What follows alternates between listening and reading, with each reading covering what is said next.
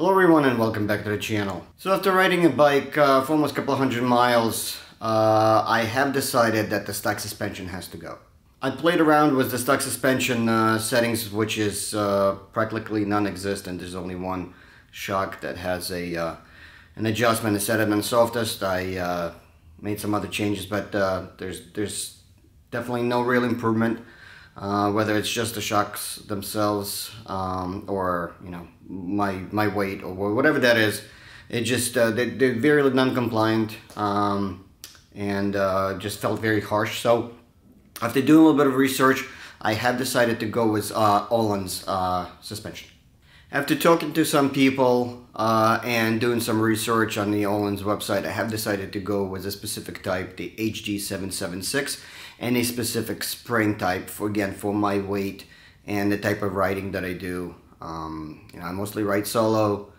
Uh, I don't bring tons of luggage with me, so I'm not planning to bring tons of luggage as well. So based on that, uh, and based on Öhlins recommendations, uh, the spring size is number 26. There's a long number in front of it, but basically it ends with a 26. Again, according to uh, Öhlins configurator uh, and all the numbers that I put in based, based on that. So let's go ahead quickly take a look what's in the box and install it on the bike. Alright guys, here they are. Alright, quickly we got our manual, well, I should say install instruction. Uh, we have four washers. Um, we have, I'm sorry, four washers, four sleeves.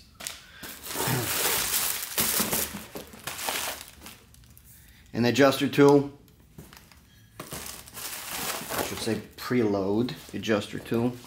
And so here are the coilovers right on the spring it'll give you the number. That's the number 26 that I was telling you about again according to uh, Öhlins configurator. They make it super simple. Adjusting these uh, is pretty straightforward and Öhlins tells you everything that you need to do. But basically uh, first thing that needs to be done is you need to adjust the preload that typically what uh, they come from the factory already set up properly but uh, again it's always good to double check uh, same thing goes for the rebound. Rebound is uh, 20 clicks out. Comes preset from the factory. That's sort of a, a standard uh, middle ground for, for, for the adjustment. And they tell you start with that and then um, make the adjustments accordingly. You know, uh, you know, up for a little bit harder and uh, and and lower for, for, for a softer ride. So um, now, according to the configurator, my uh, my setting between this line here, hopefully you can see that, and uh, the adjuster uh, ring is 18 millimeters. So I'm gonna go and measure both, make sure they are within the spec. If not, make make small adjustments, and that's basically it. I'm gonna keep 20 right now as it is from the factory and, and ride it for a little while just to see how it feels. If I need to make adjustments later, I'll, I'll do that. But for now, I'm going to keep the rebound as it is. I'm just going to set the preload and um, uh, get him set up on the bike.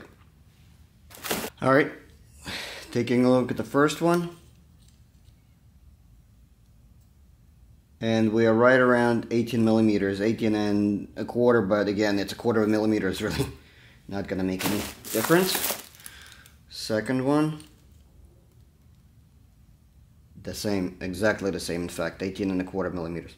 So we're perfect, perfectly set up and ready for the install.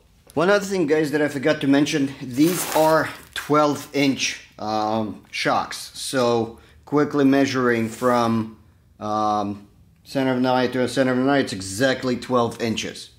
And I'm gonna do a quick comparison versus the stock one. I believe the unloaded stock is about 12 and a half, uh, but I will double check it and you will see it in a few minutes. Alright guys, so the bags are off.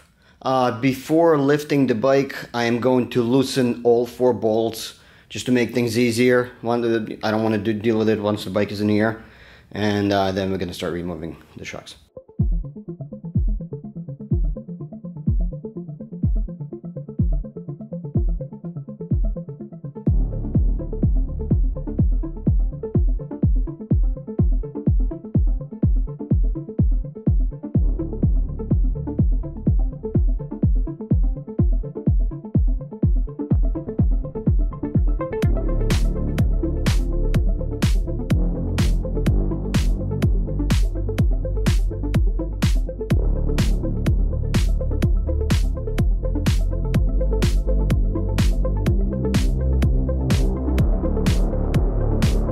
Alright guys, uh, take a look at the difference between the stock shock and the Öhlins.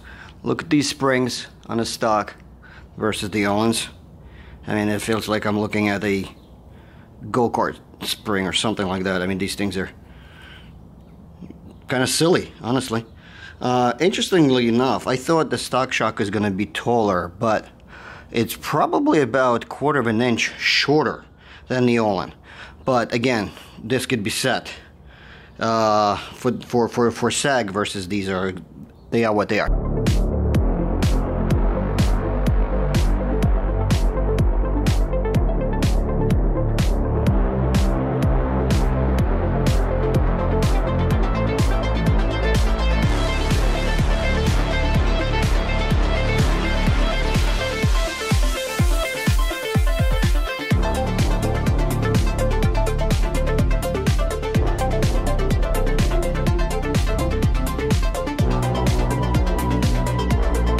Right side is done.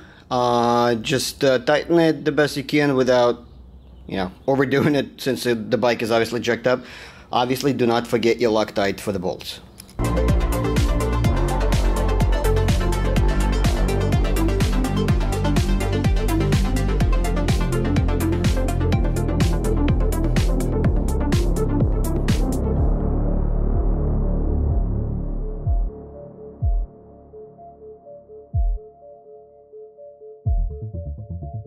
The shocks are on. Uh, let me lower the bike, tighten everything up, put my boots on, and get on the bike and see what the sag looks like.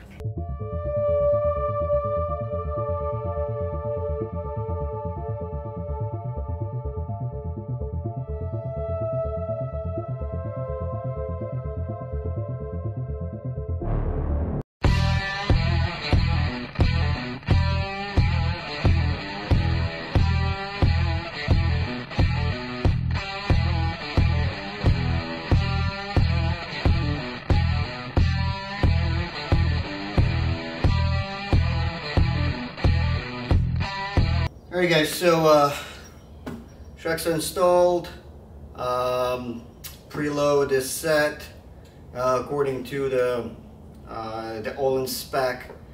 Uh, as far as the lengths, basically they came out to be pretty much identical to the stock.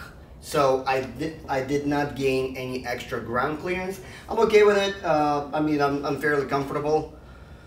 Um, I'm not, if, if I move up towards the tank and stand up, I am fully flat-footed.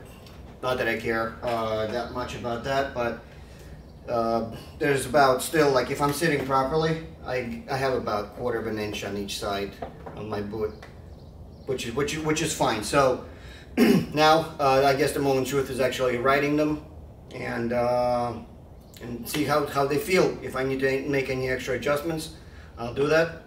First and foremost, obviously follow uh, the Öhlins uh, deck specs for the preload. Uh, start with a 20 clicks out for uh, the rebound and then adjust it from there depending on your riding style, riding type, your weight and so on and so forth.